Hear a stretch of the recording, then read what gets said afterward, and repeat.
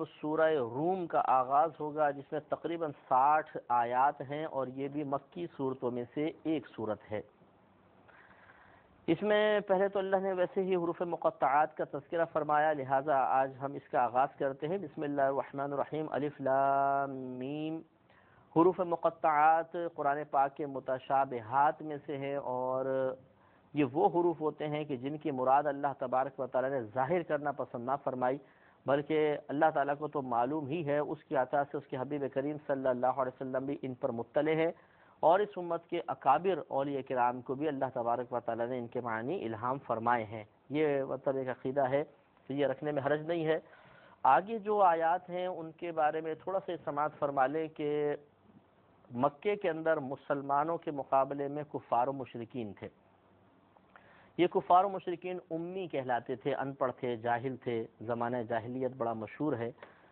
تو مسلمانوں سے سخت نفرت رکھتے تھے۔ دوسری طرف روم کے جو لوگ تھے وہ عیسائی تھے اور اہل کتاب تھے۔ اور فارس کے جو لوگ تھے وہ مجوسی آتش پرست تھے۔ تو اہل کتاب ہونے کے ناطے مسلمانوں کو رومیوں سے ہمدردی تھی اور کفار آتش پرست ہونے کی وجہ سے یعنی اہل فارس کے آتش پرست ہونے کی وجہ سے ان کو محبوب رکھتے تھے۔ اب ہوتا یہ تھا کہ فارس اور روم کے اندر جنگ ہوتی تھی۔ بارہا جنگ ہوئی اور جب بھی یہ جنگ ہوتی تو مسلمان یہ تمنا کرتے کہ کاش مسلمان جیت جائے۔ یہ مسلمان تمنا کرتے تھے کہ اہل کتاب جیت جائیں۔ اور کافر یہ تمنا کرتے تھے کہ ہماری طرح شرک کرنے والے جیت جائیں۔ اس سے معلوم یہ ہوا، یہاں پہ تھوڑا سا ایک میں نقطہ عرض کر دیتا ہوں کہ بعض اوقات ایک دیندار شخص یہ سوال کرتا ہے کہ مثال کے طور پہ پاکستان کی کرکٹ ٹیم کا میچ ہو رہا ہے کسی جگہ پر، تو کیا اپنے ملک کی ٹیم اگر کسی دوسرے سے مقابلہ کر رہی ہو، تو کیا دل کے اندر اگر یہ تمنا بیدار ہو کہ کاش وہ جیت جائیں اور پاکستان کے جیتنے سے خوشی محسوس ہو تو یہ کوئی خلاف شرع تمنائیں تو نہیں ہیں، بیکار تو نہیں ہیں؟ تو ایسا نہیں ہے، بلکہ یہ ایک فطری تقاضا ہوتا ہے۔ اسی طریقے سے اگر کوئی اہل کتاب ہیں بالفاظ مسلمانوں کا مقابلہ نہیں، لیکن اہل کتاب کا کسی کافر و مشرق سے مشرق سے کوئی مقابلہ ہو رہا ہے اور اس میں یہ تمنا دل میں پیدا ہو کہ اہل کتاب جیت جائیں تو یہ بھی کوئی حرج نہیں ہوتا کہ ایک فطری تقاضا ہوتا ہے اور یہ غیر مسلم سے محبت نہیں کہلائے گی، بلکہ اہل کتاب سے، ان کی کتاب کی وجہ سے ایک محبت کا ظہور ہوگا اور اتنی محبت میں کوئی حرج نہیں ہوتا، اتنا قلبی میں اعلان ممنوع نہیں ہے۔ تو صحابہ کرام وغیرہ یہ تمنا کرتے تھے کہ کاش اہل روم جیت جائیں اور کفار و مشرقین اہل فارس کے جیتنے کی تمنا کیا کرتے تھے۔ تو ایک مرتبہ خسرو پرویز جو فارس کا بادشاہ تھا مجوس راتش پرست تھا، اس نے اپنا ایک لشکر بھیجا۔ ادھر سے رومیوں کا آیا۔ اور ایک مقام پہ ان میں گھمسان کی جنگ ہوئی۔ مسلمانوں کی تمنا تھی کہ رومی جیت جائیں، لیکن اللہ تعالیٰ کی مشیت تھی، رومی ہار گئے۔ اور اہل فارس غالب غالب آ گئے۔ اس وقت کفار و مشرقین نے مسلمانوں پہ تانہ زنی کی کہ دیکھو تمہارے اہل کتاب ہار گئے اور ہمارے بھائی جیت گئے آتش پرست۔ تو اس سے مسلمانوں کو ایک قلب کو رنج پہنچا۔ پھر یہ آیات نازل ہوئیں کہ جس میں اللہ تبارک و تعالی نے رومیوں کے غلبے کی بشارت دی اور نبی کریم صلی اللہ علیہ وسلم نے جب یہ بات صحابہ کرام کو بیان فرمائی، یہ وحی یعنی قرآن پاک کی آیات کی تلاوت فرمائی تو سیدنا ابو بکر صدیق رضی اللہ تعالیٰ عنہ فوراً کفار کی طرف گئے اور آپ نے فرمایا کہ آج تم اہل فارس کے جیتنے پر خوشیاں منا رہے ہو، لیکن عنقریب ایسا ہوگا کہ رومی غالب آئیں گے اور تم دیکھنا کہ ہمارے نبی کریم نے چونکہ خبر دے دی ہے، لہذا ایسا ہی ہوگا۔ اس میں جو ابئی بن خلف کافر تھا، یہ کھڑا ہوا مقابلے پر، اس نے کہا کہ نہیں، اگلی مرتبہ مقابلہ ہوگا، تب بھی اہل فارس ہی جیتیں گے۔ حضرت بکر صدیق رضی اللہ تعالیٰ عنہ نے منع فرمایا تو اس میں دونوں میں مقابلہ ہوا، اس بات کا یعنی شرط ٹھہر گئی کہ کون جیتے گا۔ تو سو سو اونٹوں کی شرط ٹھہر گئی۔ حضرت بکر نے فرمایا کہ اگر تم جیت گئے تو میں تمہیں سو اونٹ دوں گا اور تم ہار گئے تو مجھے سو اونٹ ملیں گے۔ اور یہ جوئے کی حرمت کے نزول سے پہلے کا واقعہ ہے اور بعضوں نے اس کو عام رکھا ہے کہ نہیں، کافر کے ساتھ اس طرح کی شرائط کا معاملہ کرنا جائز ہوتا ہے۔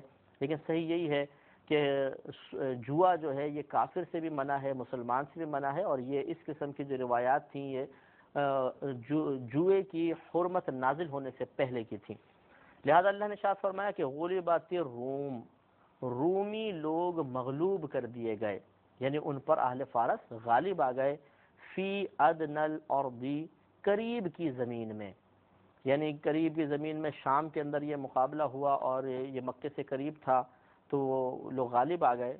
وہم من بعد غلبہم سیغلبون اور اس میں اللہ نے پھر غیبی خبر دی اور وہ یعنی رومی حضرات من بعد غلبہم ان اہل فارس کے غلبہ کے بعد سیغلبون ان قریب غلبہ حاصل کریں گے۔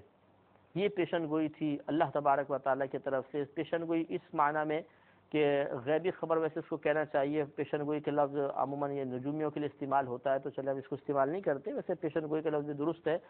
تو یہ غیبی خبر اللہ تبارک و تعالیٰ نے دی کہ ان قریب یہ غالب آ جائیں گے۔ اور پھر سات آٹھ سال کے عرصے میں یہ لوگوں نے دیکھا کہ رومی اہل فارس پر غالب آئے۔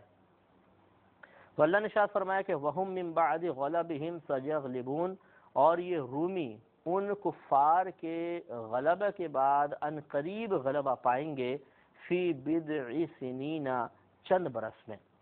چند برس کے سات آٹھ برس کا یہ ٹائم پیریڈ گزرا اور رومی غالب آ گئے۔ للہ الامر من قبل و من بعد اور اللہ ہی کے لیے حکم ہے اس سے پہلے یعنی رومیوں کے مغلوب ہونے سے پہلے وہ من بعد اور اس کے بعد بھی۔ کہنے کا مطلب یہ ہے کہ یہ اللہ تبارک و تعالیٰ کے حکم سے ہوتا ہے کہ اللہ تعالیٰ بعض اوقات کسی قوم کو شکست سے دو چار کروا دیتا ہے اور کسی قوم کو فتح عطا فرماتا ہے۔ تو پہلے بھی جو رومی مغلوب ہوئے، اللہ کی طرف سے ایک آزمائش تھی اور مغلوب ہونے کے بعد دوبارہ مقابلے پہ ان کو غلبہ حاصل ہوگا۔ یہ بھی اللہ تبارک و تعالیٰ کی ہی کرم نوازی ہے۔ وَيَوْمَ إِذٍ يَفْرَحُ الْمُؤْمِنُونَ اور اس دن ایمان والے خوش ہوں گے۔ یعنی مسلمان اس دن خوش ہوں گے۔ اس سے معلوم ہوا کہ اہل کتاب کو ملنے والی خوشی پر اگر مسلمان کے قلب میں خوشی پیدا ہو جائے تو یہ قابل گرفت نہیں ہوتی۔ بشرطے کہ وہ ایسی خوشی نہ ہو، کفار کی ایسی خوشی نہ ہو جو اسلام اور مسلمانوں کے خلاف ان کو حاصل ہوئی ہو۔ اس پر خوش ہونے کا مطلب تو اپنے اسلام کے زوال پر خوش ہونا ہے۔ ویسے اگر مثال کے طور پہ اہل کتاب اور مشرقین میں کسی قسم کا مقابلہ ہوا اور اہل کتاب مشرقین پر غالب آ گئے، اس پر اگر خوشی کا دل میں جذبہ پیدا ہوا تو اس میں کوئی گرفت نہیں ہے۔ تو ارشاد فرمایا کہ وہ یوم یفرح المؤمنون بنصر اللہ اور اس دن ایمان والے خوش ہوں گے اللہ تعالیٰ کی مدد کے سبب۔ معلوم یہ ہوا کہ اللہ کی مدد سے وہ غلبہ پائیں گے۔